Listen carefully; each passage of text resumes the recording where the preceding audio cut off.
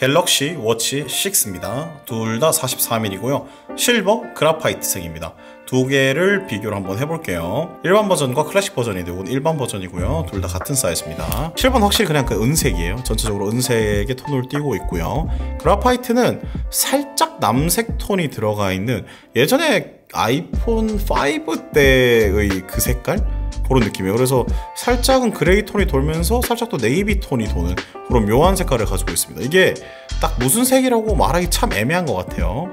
이런 색을 띠고 있고 전체적으로 디스플레이는 둘 다 블랙 베젤을 가지고 있고요. 상단, 하단 부분, 이 전체적인 동그란 부분은 검은색 유광 재질로 되어 있습니다. 요거는 두 제품 다 똑같아요. 뭔가 생산 공정을 좀 더 편하게 할 수 있는 그런 방법이 아니었을까. 요거는 같고 테두리 알루미늄 여기 부분만 접합시켜 버려서 밴드를 연결하면 되니까요.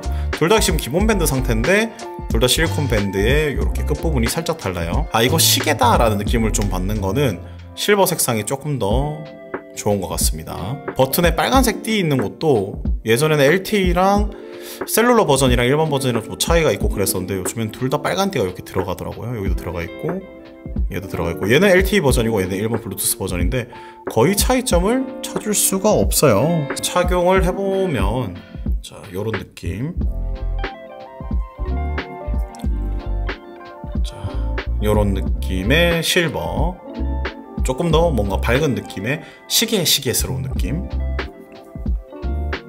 요거는 워치 6 그라파이트 근데 왜 이렇게 애매한 색을 얘기했는지 모르겠어요. 그라파이트라고. 아무튼 요런 느낌. 살짝 조금 더 뭔가 디지털 시계다 그런 느낌이 없지 않아 있는 그런 제가 느끼기로는 줄질하기로는 실버가 좀 더 좋은 것 같고 심플하게 쓸 때는 graphite가 좋은 것 같습니다. 실물로 꼭 보시길 추천드릴게요. 이렇게 보시면 약간 푸른 계열로 떴다가 이렇게 보면 또 gray에 이렇게 보면 사실 블랙 베젤이랑 같이 봤을 때는 검은색 같거든요. 좀 특이하긴 합니다.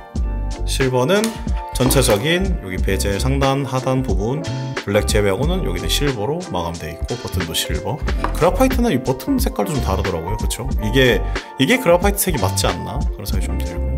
graphite 색은 홈페이지 가서 봐도 색이 조금 이 실물 색이랑 좀 달라요. 그래서 어, 좀 묘하네? 그런 느낌.